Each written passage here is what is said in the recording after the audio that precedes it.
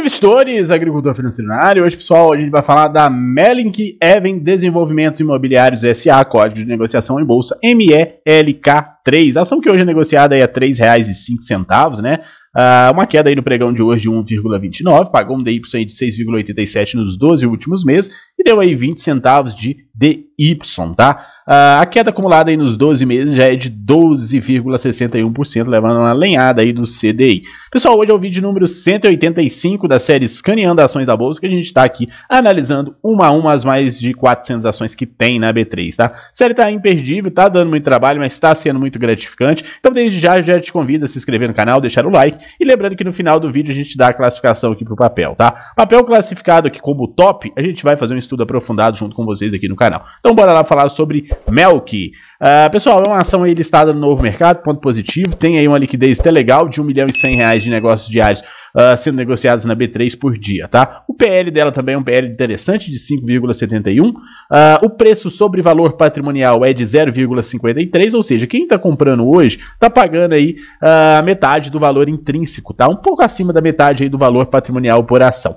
Quando a gente olha o lucro por ação, a gente vê um crescimento no lucro por ação da empresa aí desde o ano de 2020, saiu aqui de 20 centavos por ação, lucro uh, líquido da empresa, para 53 centavos, ou seja, a gente teve um crescimento. Hoje a companhia tem mais dinheiro em caixa do que dívida, tá? Ou seja, uma empresa aí bem capitalizada, que fez aí o capital, abriu capital recentemente na Bolsa de Valores. Do, da abertura de capital dela, uh, que foi em 2020 para cá, a ação já se desvalorizou em 59%, né? Ou seja, uma ação aí que é mais uma das ações que abriu capital recentemente aí que se desvalorizou muito, né? A margem líquida do negócio hoje é de 10%, o ROI dela que hoje é um ROI de 9,26, um ROI até legal aí para o uh, ah, setor de construção civil. O que me chamou a atenção foi essa taxa de, de locação, né?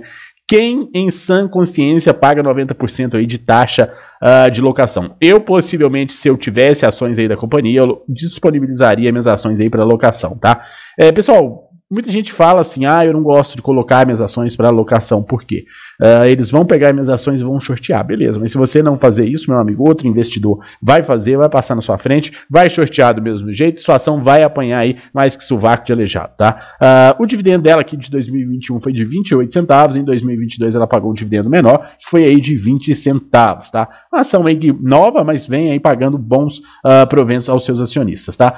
em relação a 2021 para 2022, ela distribuiu distribuiu aqui 91% do lucro, tá? Que foi de 82 milhões de reais. Distribuiu 75 milhões de reais de proventos.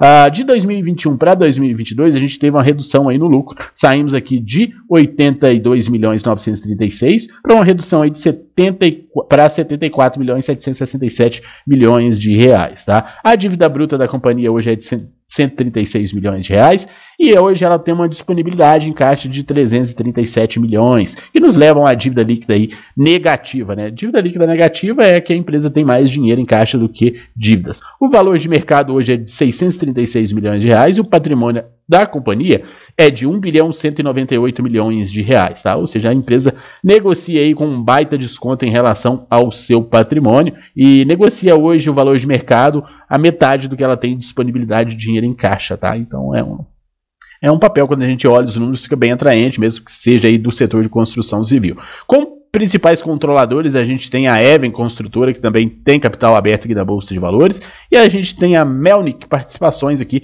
como principais controladores da companhia, tá? Quando a gente dá uma olhada aqui uh, nos no DRE da empresa, a gente vê um crescimento aqui, principalmente em relação de 2020 para 2021 na receita, né? Uh, e junto com a receita, a gente tem uma receita crescendo uh, e a margem se mantém a mesma, a gente teve aqui um crescimento também no lucro da companhia. Quando a gente dá uma olhada aqui na, na no salário dos remuneradores, da, dos diretores, que é uma coisa que eu sempre gosto de dar uma olhadinha, uh, a gente tem aqui 11 milhões 700 mil reais de uh, salário, tá? Então, para uma empresa que está faturando aí seu lucro líquido aí de 81 milhões de reais, até que faz sentido, né? Não faz sentido igual uma outra ação que a gente fez análise aqui, que é a Local Web, uh, com um lucro anual de 1 milhão de reais, pagando 18 milhões de reais, mais bônus aí para os seus uh, diretores, né? Então, eu, esse é o tipo de empresa que a gente tem que passar bem longe. Uh, pessoal, o vídeo de hoje é só esse, vou dar minha classificação aqui pro papel, papel legal, tá? Uh, eu acho que vale a pena, com os números atuais, mesmo que o histórico seja pequeno, que fez a IPO recentemente,